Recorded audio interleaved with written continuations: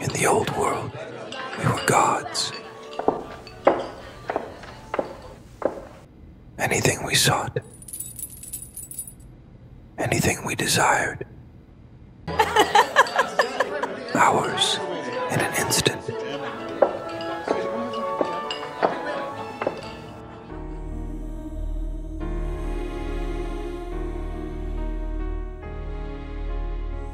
But not her.